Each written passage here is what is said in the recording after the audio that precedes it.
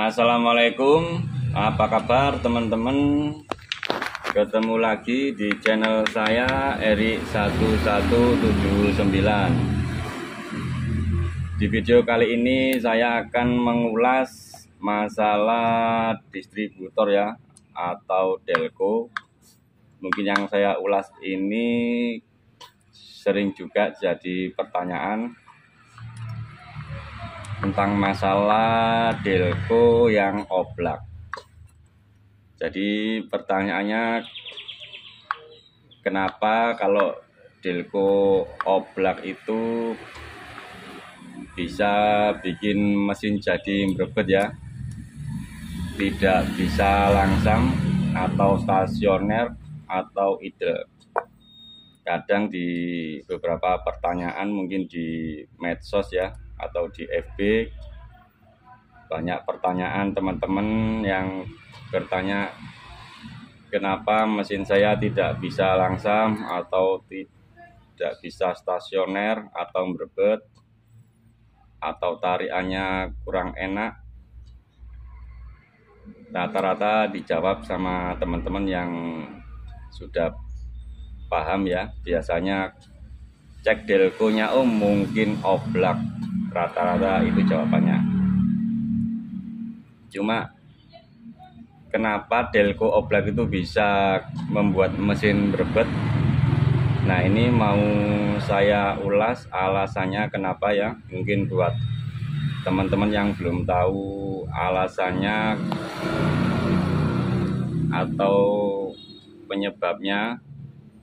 Nah ini saya ulas saja di sini. Kebetulan ini saya ada dua distributor ya. Ini punya Suzuki Forza atau Suzuki Katana ya.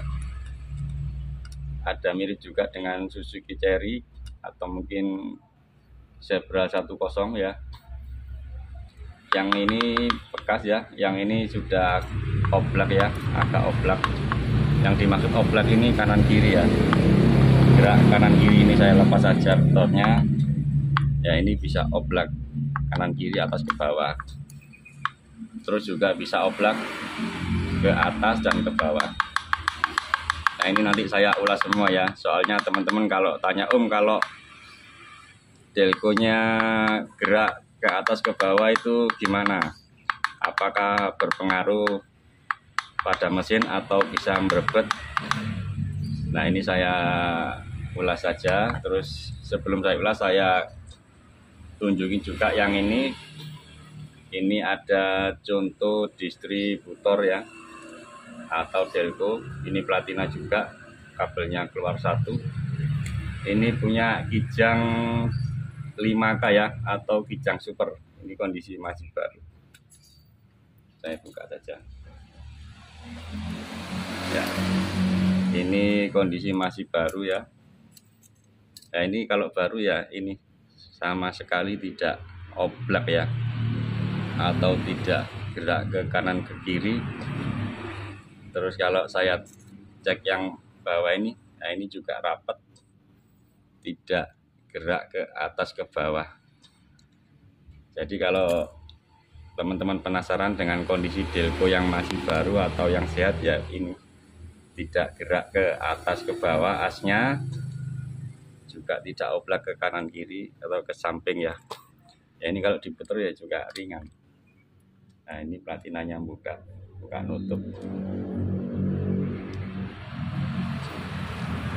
Nah ini kalau delco masih bagus ya. Biar teman-teman tidak penasaran. Oke lanjut ke topiknya tentang masalah delco yang oblak yang membuat mesin jadi berbet mungkin kasusnya itu yang sering terjadi di Delco Platina ya daripada Delco yang pakai CDI. Kalau Delco yang pakai CDI itu peluangnya untuk oblak itu mungkin sangat tipis sekali ya. Ya kenapa kalau Delco Platina ini karena as Delco-nya ini ya. As Delco-nya ini bekerja untuk menggerakkan Platina ini ya jadi dia ada beban untuk menggerakkan platina ini biar buka nutup. Nah ini ini setelahnya kurang pas. Untuk menggerakkan platina ini ya. Nah, biar buka nutup. Ini ini platinanya ya. Biar buka nutup. Ya ini karena dia dapat beban dari platina untuk menggerakkan platina ini lama-lama asdelkonya ini bisa kocak atau oblak. Sedangkan kalau CDI ya mungkin karena saya kali ini nggak ada contoh distributor CDI dia tidak ada beban sama sekali untuk menggerakkan platina ya atau tidak ada beban istilahnya cuma berputar saja. Jadi itulah penyebabnya kalau CDI peluangnya tipis untuk oblak tapi ya juga bisa terjadi ya karena dipakai juga ya bisa saja nanti ada keausan dikit bisa oblak dikit. Nah ini sebentar ya saya kasih contoh yang ini saja. Ini juga ada oblak dikit. Kenapa kalau oblak itu bisa bikin mesin berbet ya ini saya kasih contoh analisanya ya penyebabnya ini. Nah ini saya kasih contoh apabila kita setting atau setel gap, gap platina di sini pakai cooler ya. Nah ini udah saya setel 0,45 ya. 0,45 ini sudah pas. Ya nanti karena kondisi asnya ini yang oblak. Nanti kalau diputar ini anggap ini noknya ya ada nok 4 ini ya. Ada tonjolan 4 nah ini kalau as delkonya oblak ini kalau kita putar nanti setelan gapnya yang 0,45 ini nanti bisa berubah tidak bisa stabil.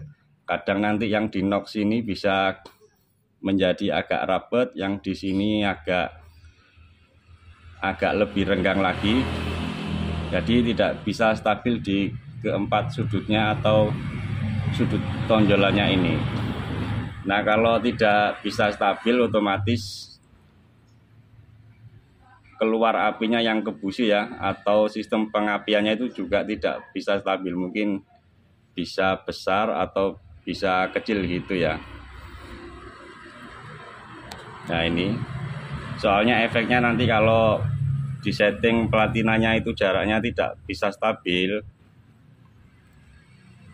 Untuk dasar setting platina sendiri ya kalau jaraknya itu umpamanya terlalu rapat itu mesin juga bisa tidak bisa hidup.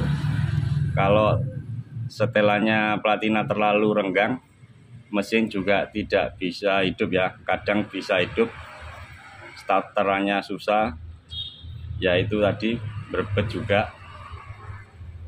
Yaitu salah satu penyebabnya jika asdelkonya oblak. Jadi pengapiannya tidak bisa stabil ya karena setelannya gap platina itu bisa berubah-ubah tidak bisa konstan di 0,45 itu yang delco oblak. Selanjutnya ada yang bertanya kalau geraknya asnya naik ke atas itu berpengaruh apa enggak ya ini menurut saya ya atau kadang juga konsultasi sama teman-teman bengkel atau mungkin saya praktekkan di mobil saya ya atau dari pengalaman saya pakai Delco yang ini. Mungkin asnya oblak naik ke atas. Ini tidak berpengaruh ya tidak terlalu berpengaruh karena cuma gerakannya naik ke atas. Jadi gerakan naik ke atas ini tidak tidak mempengaruhi perubahan gap jarak platina itu ya. Jadi dia nanti kalau sudah nancap di gigi gigi noken as itu biasanya sudah tidak bergerak ya meskipun kalau oblak ya ke atas ke bawah ya mungkin bisa bergerak tipis-tipis tapi tidak mempengaruhi ke konsistennya jarak gap platina ini ya kalau gerak atas ke bawah. Cuma mungkin teman-teman jika ingin mengatasi yang gerak atas ke bawah ini ya lebih mudah ya mungkin caranya simple. Ini kayak saya ini sudah saya kasih ring kuningan ini ya. Jadi ini dulu saya buka pennya ini giginya pen gigi delco ini saya saya buka ya saya pukul ke bawah. Mungkin kalau yang pakai ini yang belum pernah lepasan itu harus di gerinda sedikit ya atau dibor bagian atasnya itu. Setelah itu dipukul ya. Dipukul pakai nanti keluar nanti teman-teman bisa dikasih ring kuningan ini. Nah ini kalau masih banyak tenggangnya ini mungkin karena pemakaian agak tambah oblak ya ke atas bawah. Jadi nanti kalau masih kurang banyak bisa ditambah ring kuningan lagi ini ya bisa beli di toko underdeal mungkin kalau beli hasilnya di bawah jadi biar bisa nyocokin diameternya. Nah terus kenapa pakai ring yang kuningan ini ya? Karena kalau yang kuningan ini kan bentuknya tidak terlalu apa bahannya tidak terlalu keras atau ya. Jadi nanti kalau ada gesekan ini yang kalah mungkin yang kuningan ini daripada gigi delkonya ini ya saat gesekan. Tapi nanti kalau ngasih ya jangan terlalu rapet ya masih dikasih stand biar mutar as delkonya ini bisa ringan ya nah oke okay, teman-teman itu saja ya tips dari saya atau analisa saya atau ulasan saya tentang kenapa kalau delco as asnya oblak ini bikin mesin berbet tidak bisa stasioner yaitu tadi ulasannya. Oke terima kasih. Kurang maaf semoga bermanfaat. Assalamualaikum